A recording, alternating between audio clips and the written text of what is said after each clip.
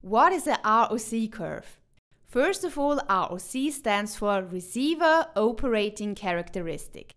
But what is a ROC curve? A ROC curve is a graphical representation of the performance of a binary classification model for all classification thresholds. Let's look at this with an example. We would like to classify based on a screening whether a person has cancer or not. This classification is done with the help of a certain blood value, where high values indicate cancer. The question now is what value we choose as the classification threshold. So, at what level do we predict a disease? For this, we get data from 10 people about how high the blood level is and whether there is a disease or not. We could now choose a classification threshold of 45, for example.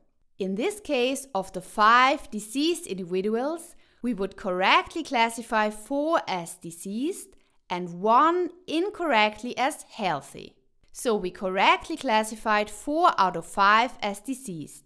This value is called the true positive rate TPR and is equal to the sensitivity. On the other hand, of the five healthy individuals, we misclassified two as diseased and correctly classified three as healthy.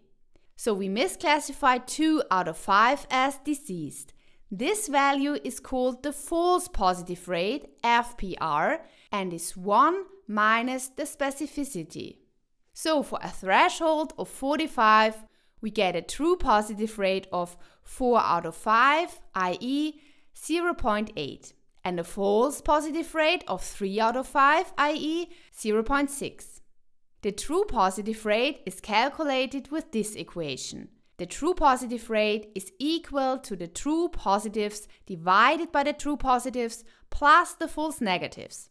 The true positives are the people correctly classified as diseased, and the false negatives are the people incorrectly classified as healthy. The false positive rate is obtained with this equation. The false positive rate is equal to the false positives divided by the false positives plus the true negatives. The false positives are the healthy individuals misclassified as diseased, and the true negatives are the individuals correctly classified as healthy. We can now calculate for each threshold the true positive rate and the false positive rate. And it is precisely these two values that are then plotted on the ROC curve. The true positive rate is plotted on the y-axis and the false positive rate on the x-axis. Now let's draw the complete ROC curve for our example. If we choose the threshold value to be very small, i.e. pushed all the way to the left, we correctly classify all five diseased individuals. Our true positive rate is thus 5 out of 5, i.e. 1. In the same way, however, we also misclassify all 5 healthy people as diseased. Our false positive rate is thus 5 out of 5, i.e. 1. With that, we have the first point. Now we can push the threshold further. Here we still correctly classify all 5 diseased people as diseased. So we continue to have a true positive rate 5 out of 5. However, of the 5 healthy individuals, we now misclassify only 4 out of 5 as diseased. So we have 4 out of 5 or 0.8. At the next threshold, we still have a true positive rate of 1. All 5 diseased people are correctly classified and a false positive rate of 3 out of 5, i.e. 0.6. At the next threshold, a deceased person is misclassified as healthy for the first time. We therefore obtain a true positive rate of 4 out of 5, i.e. 0.8, and a false positive rate of 3 out of 5, i.e. 0.6. We can now do that for all other thresholds. Now we have our finished ROC curve.